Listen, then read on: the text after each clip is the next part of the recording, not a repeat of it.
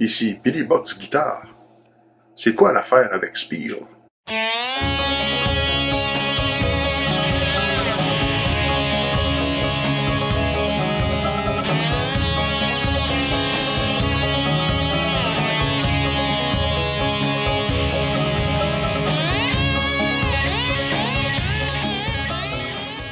What's the deal with Spiel?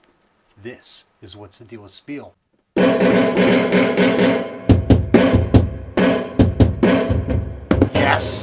Junkyard drum set is still moving forward. I just got the cables for it. I created a bank of preamps to make every trigger in here hypersensitive.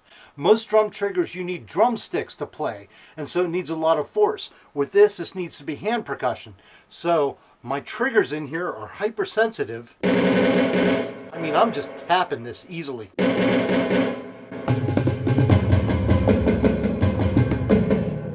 My drummer Rick Stepina, he used to play a cajon, which is a wooden box, and he would have to slam it because we'd have microphones inside. He asked me to build him drums that were easy to play with the fingertips. This tom here needs to be rebuilt. The piezos didn't work right in it, so I have to rebuild the top. That's okay. Everything on this is Velcroed. So heads can be replaced, piezos can be fixed, and the bass drum even sounds great too. So this is what I've been working on. One of the big things is with this bank of preamps, I had to make sure lines didn't get crossed. So I went on Amazon and I ordered all these guitar cables in different colors. I'll move the camera around and show you the backside. So here you can see where the guitar cables go in the quarter inch Neutrik jacks. All this stuff is from CB Gitty. The jacks in here, the piezos, they all go into these color-coded guitar cables into my bank of preamps and then into the Alesis drum module. So everything is very, very primitive right now. I need to get all these triggers on the same touch.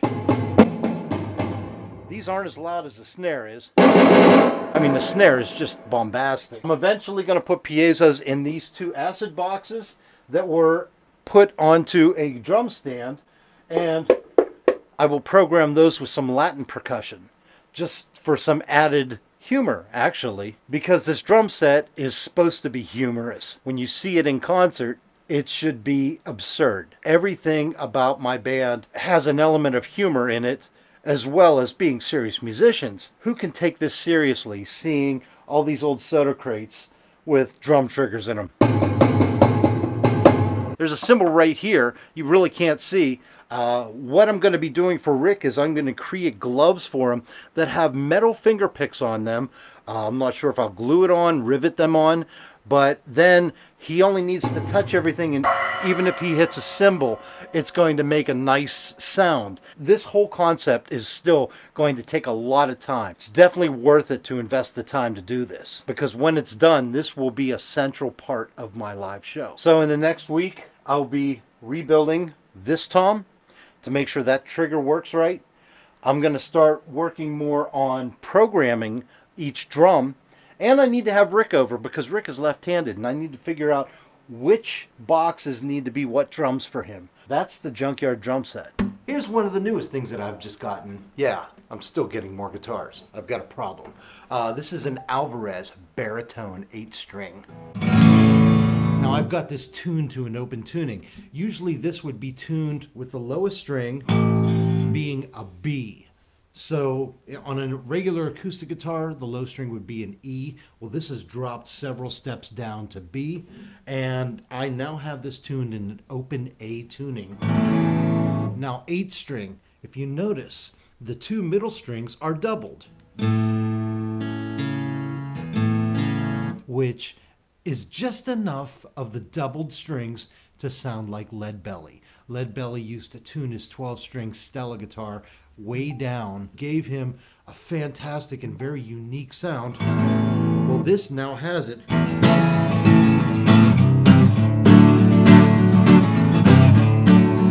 This guitar is fantastic. It just rumbles into your chest. I've got the Edge slide from stubbyslide.com. This is supposed to approximate Blind Willie Johnson's pocket knife. And I've been using it a lot because I injured my two fingers here. And put the pick down and just give you a feel for this.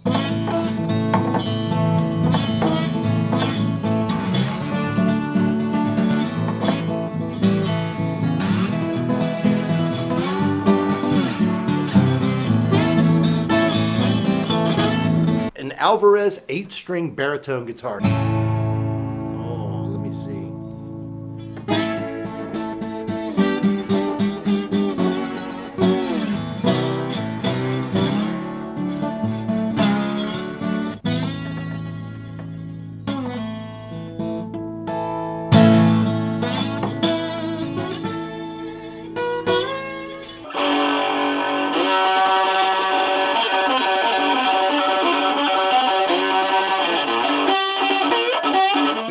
Check it out.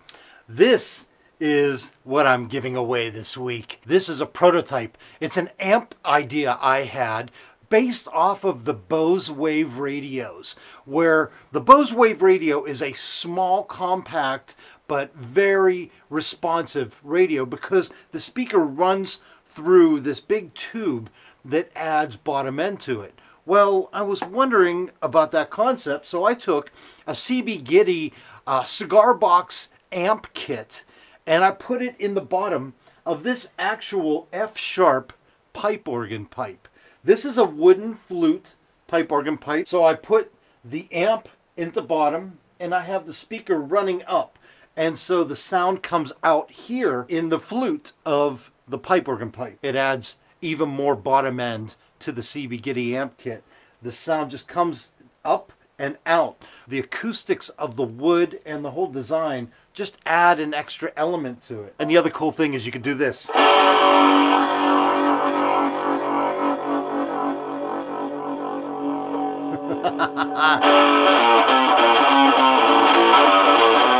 I used one of the actual drawers from the pipe organ to house the volume knob and the LED light telling you it's on. And like I said, it is a prototype because I actually want to develop this with a much bigger pipe. I have pipes that are over five feet high, big ones from the pipe organ, and I'm going to be putting either an 8 inch or a 10 inch speaker at the bottom with a tube amp and the sound coming out of the top. So this was my way of testing the theory and the theory was correct. So let's give this away. I am giving away this actual prototype. I will send this in the mail. So if you want to win this sucker, right here on this YouTube video, like this video, put a comment below, and make sure you subscribe to my channel. If you do all those three things, you will be entered to win this pipe organ prototype guitar amp. So make sure you comment on this video, make sure you like it and subscribe and you're entered. So let's do a new segment. This is What's the Deal with Shane's Bookshelf. Many of you have told me that you've paused my videos and done close-ups of my bookshelf trying to figure out what books I actually have on there. So I thought I would pull a couple out each week and uh, give you a little review. Afro-American Folk Art and Crafts by William Ferris. This was published by the University Press of Mississippi. It's essential, essential book. Originally published in the early 80s, this has a lot of great interviews, especially with Otha Turner, who did the Mississippi fife and drum music. It also has some great stories on diddley bows and banjos in here too. It's also a great interview with Son Thomas, great blues man, James Son Thomas, and it explores his sculptures that he makes from Mississippi mud. If you're into reading blues history, there's several chapters in here that you're just gonna love. New to my bookshelf this week, Making Gourd Musical Instruments, and this is this is by Ginger Summit and Jim Widess.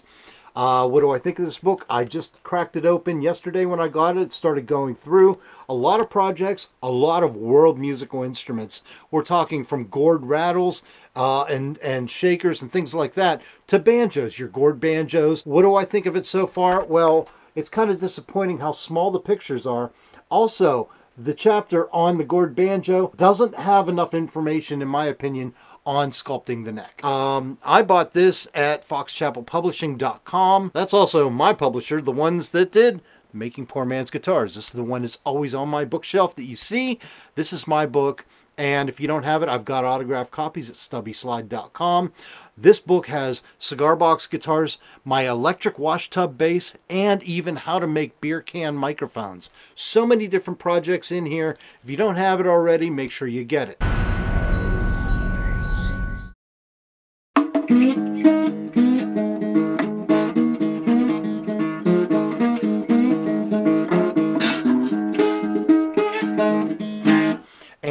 Over 150 new people and over 150 new people signed up. Thank you all that entered. And now let's give this away to somebody on my mailing list. If you've already signed up for it you were already entered.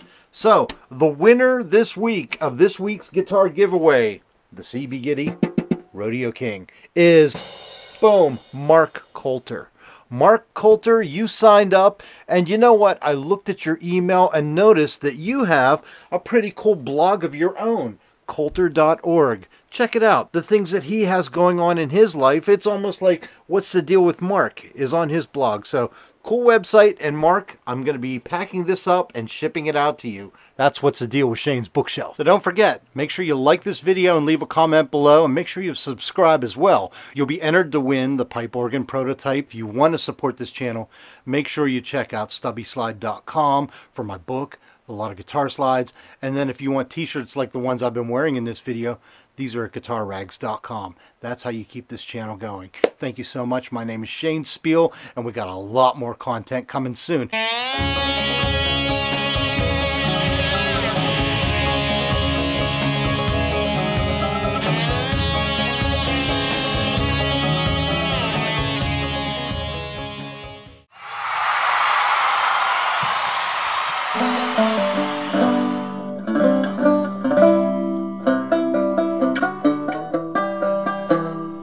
Guys, quite uh-huh. honestly, this is a father's gift.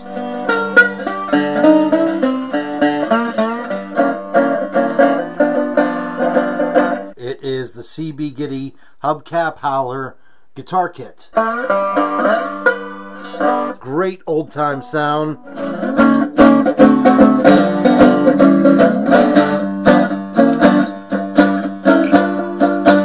It's simple, there's no electronics, it's all fully acoustic. It's fully fretted, you don't have to add frets, and I just love the sound of it.